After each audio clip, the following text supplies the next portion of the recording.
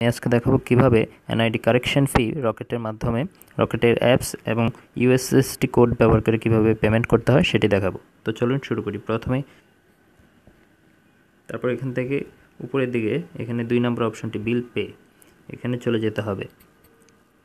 Bill pay থেকে search বিলার এখানে one thousand লিখে সার্চ করলে এখানে ইসি ইলেকশন কমিশন বাংলাদেশটি পেয়ে যাবেন। সো এখানে ক্লিক করবেন। তারপর এখানে আপনাদের এনআইডি নম্বরটি, দশ ডিজিটের স্মার্ট আইডি কার্ড নাম্বার অথবা সতেরো ডিজিটের এনআইডি নাম্বার যে কোনো একটি লিখে আপনারা এখানে দেবেন। তো আমি এখানে আমার সতেরো ডিজিটের এনআইডি নাম্বারটি আমি লিখে দিচ্ছি।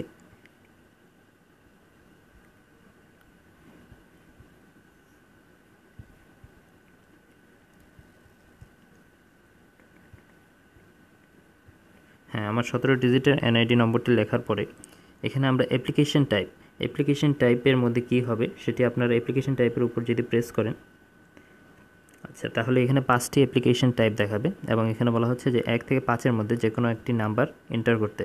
তো আপনারা যে ধরনের তথ্য কারেকশন করতে চান, সেটা অনুযায়ী আপনারা এক থেকে পাঁচের মধ্যে যে কোনো এক, দুই, তিন, চার অথবা পাঁচ আপনারা সিলেক্ট করবেন। যদি শুধুমাত্র এনআইডির ইনফো কারেকশন করতে চান, যদি কার্ডের তথ্য পরিবর্তন করতে চান, তাহলে এক চাপবেন। যদি অন্যান্য তথ্য পরিবর্তন করতে চান, তাহলে দুই চাপবেন। আর যদি এই দুটোই, অর্থাৎ এক এবং দুইয়ের মানে উভয় তথ্যই পরিবর্তন করতে চান, তাহলে তিন চাপবেন।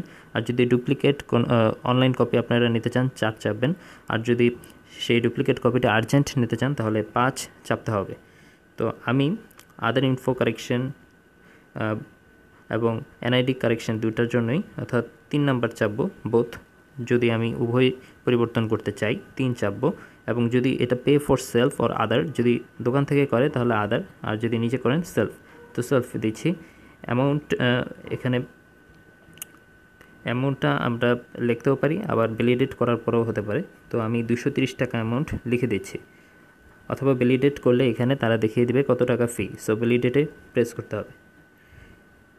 ভ্যালিডেটে দেখাচ্ছে তিনশো পঁয়তাল্লিশ টাকা লাগবে। তো আপনারা যদি এটা অ্যাকসেপ্ট করেন অ্যাকসেপ্ট করতে চান, তাহলে ওকে দিতে হবে।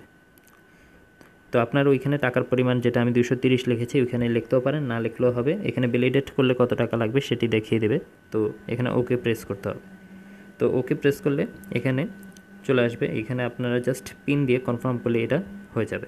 তো এর যদি এই বিলারটিকে আপনি সেভ করে রাখতে চান, তাহলে এখানে কারেক্ট দিয়ে দিলে হবে। আর যদি সেভ না করতে চান, তাহলে কোনো সমস্যা নেই। এখানে জাস্ট পিন নাম্বার দিয়ে কনফার্ম দিলে আপনাদের বিলটি কনফার্ম হয়ে যাবে। এটা ছিল রকেট অ্যাপস থেকে।